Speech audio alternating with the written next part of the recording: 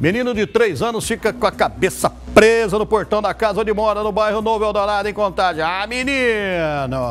Coisa de criança, né? Resgate foi realizado por militares bombeiros. Vamos lá ver.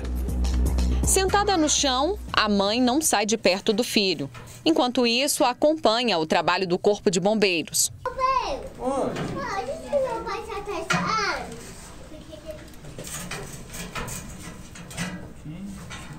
Os militares fazem pressão com uma corda e uma barra de ferro para abrir a grade. De repente, o alívio. Não é possível, né, moça? Vamos lá. Orelhinha. As imagens foram gravadas durante o resgate do Bernardo. Este carinha tímido e simpático. Com apenas três anos de idade, já deu um susto daqueles na família inteira. A avó que o diga. A mãe dele, quando tinha, acho que seis ou sete anos, não me lembro direito, isso aconteceu, né? E eu, na época, em vez de chamar bombeiro, eu não chamei. Aí cada um que passava na rua ficava tirando, mexendo na cabeça dela, nem nada. Aí foi uma hora mais ou menos de desespero. A mãe do Bernardo estava aqui na cozinha fazendo o almoço, enquanto a tia e a avó estavam dentro de casa. Ele estava com a priminha do lado de fora, brincando, como de costume. Inclusive, aqui ficam os brinquedos favoritos. Quando o Bernardo se pendurou assim na grade, ele tentou passar para o outro lado. Foi aí que a cabeça ficou presa. Aí você colocou a cabeça. É. Você entrou como que entrou? Achei, ó. Hum. Ia passar? não passa de novo, não.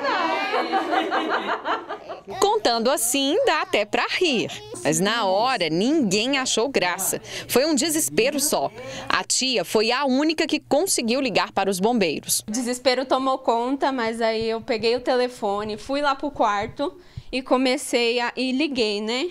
Liguei para um 93. Na hora até esqueci o número, vim correndo perguntar para minha mãe: mãe, qual que é o número do Corpo de Bombeiros? Foram 15 minutos até a chegada da viatura. Aqueles 15 minutos parece que foi o dia todo, né?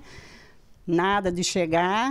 É, foi, não foi demorado, né? Foi na hora do desespero. A gente fica, nossa, mas cadê? Cadê? Mas graças a Deus. Foi, deu tudo certo, né? No dia seguinte, os bombeiros voltaram à casa do Bernardo para uma visita. Foi uma festa só. O tenente Sandro explicou que a técnica usada pelos militares foi a mais adequada. Nesse tipo de ocorrência, usualmente a gente usaria um rolmatro, que é uma, uma peça que ela vai conseguir alargar aquele ponto. Entretanto, pela situação que ele estava, até com receio da chegada do bombeiro, trazer esse, essa ferramenta ia ser para ele um susto muito grande. Então o pessoal optou corretamente por poder fazer como se fosse um torniquete. Pegaram uma corda, pegaram uma barra de aço e ao colocar nas duas barras, eles foram torcendo ela para elas se aproximarem e dando espaço para sair da cabeça dele. O militar também lembrou que quando se trata de crianças, toda a supervisão ainda é muito pouco. Mas se algum acidente acontecer, os bombeiros devem ser acionados imediatamente. A família agiu corretamente nessa situação ao não tentar atuar naquele local e imediatamente ligar para o bombeiro e prestar todo o apoio a ele. Por quê?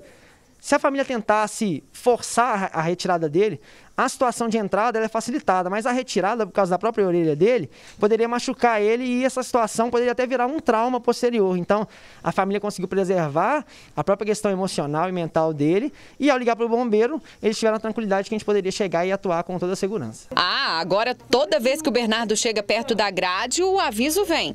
Por isso, ele fez uma promessa. Mas então faz uma promessa pra tia você não vai mais colocar a cabeça aqui não, né? Não, ó, eu soltei.